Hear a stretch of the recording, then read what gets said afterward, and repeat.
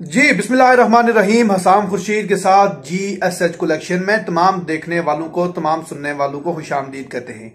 हम तमाम सुनने वालों तक तमाम जानने वालों तक एक नया व्लॉग लेके हाजिर हुए हैं। वो कुछ यूँ है कि गुजशत रोज सेनेट इंतबात हुए जिसमें अगर हम पीडीएम की बात करें तो एक सौ उनहत्तर ले, वोट लेकर वो सर फहरिस्त रही। अगर हम हुकूमत की बात करें तो पाकिस्तान तहरीक इंसाफ एक वोट लेके दूसरे नंबर पर रही। पाकिस्तान तहरीक इंसाफ अपनी वो परफॉर्मेंस नहीं दिखा सकी।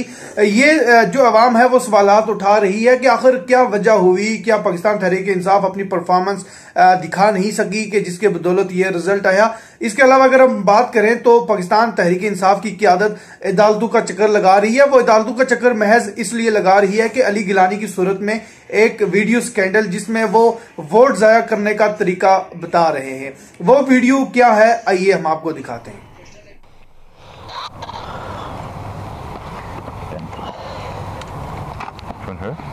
फेवरेट नंबर बता दो सेवन नहीं दो नंबर हो।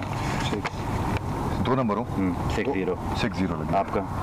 मेरा है सेवन वन कोई भी नंबर आपका ग्यारह इलेवन वो यार ये वाले का ग्यारह हो गया। हाँ। असलम भाई को क्या देना। है वो है बीच में? तेईस ट्वेंटी थ्री ये चार हम पक्के हैं। ट्वेंटी थ्री ये नंबर फिर याद रखना भाई। ये नंबर याद रखने मैं आपको लिख के भेज दूँगा। तस्वीर भी खींच दूँगा इसकी। ठीक है? सेवेंटी वन अगर बोर्ड ज़ाया करना है उन्होंने तो फिर आपने क्या करना है? एक उन्होंने जो लगा कि अच्छा हम दोनों को क्रॉस करेंगे। यूँ यूँ क्रॉस करोगे? दोनों दोनों को क्रॉस करोगे अटैक होगा तुमने तो लिखना है twenty three seventy sixty one ताकि जब वो बैलेट मतलब मैं अपने अपना लिखूँगा अपने अपना नंबर लिखेगा। सिक्सटी लिखूँगा सिक्सटी लिखेगा।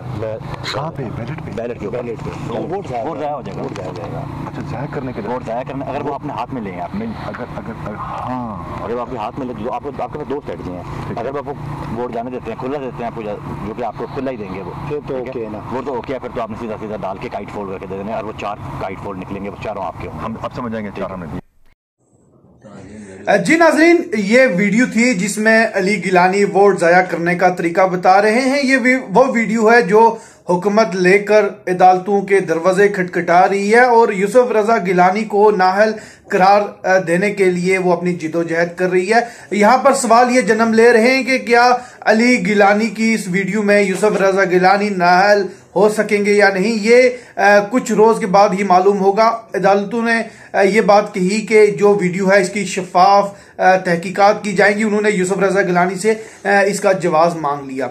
अगर हम बात करें पाकिस्तान पीपल्स पार्टी का मरकज रहनमा आसफ अली जरदारी की तो उन्होंने एक निजी टीवी पे इंटरव्यू देते हुए क्या कहा? आइए आपको दिखाते हैं। तो ये गिलानी साहब की जो फतह है इसके बाद क्या आप उनको चेयरमैन सेनेट भी बनाएँगे? सर इंशाल्लाह पार्टी सोचेगी पार्टी देखेगी और पीडीएम डिसीज़न देगी हमें।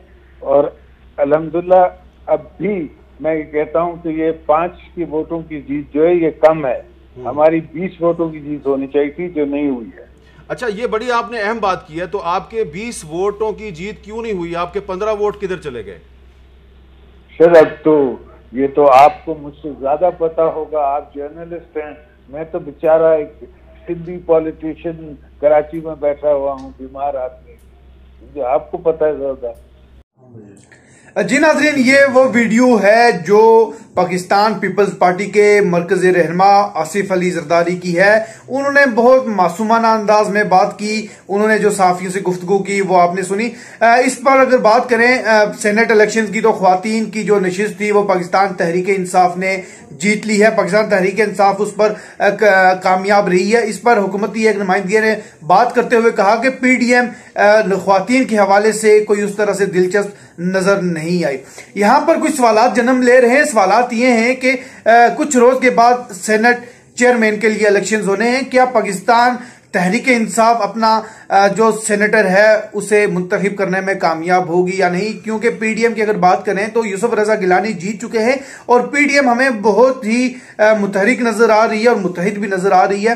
एक तरफ़ बिलावल भुट्टो जरदारी शहबाज शरीफ से मिलने गए, लेकिन इंतजामिया ने शहबाज शरीफ से उन्हें मिलने नहीं दिया, जिस पर उन्हें कहा कि वो एक अहम अहदे पर फायज रह चुके हैं हमें उसके मिलने की इजाज़त दी जाए।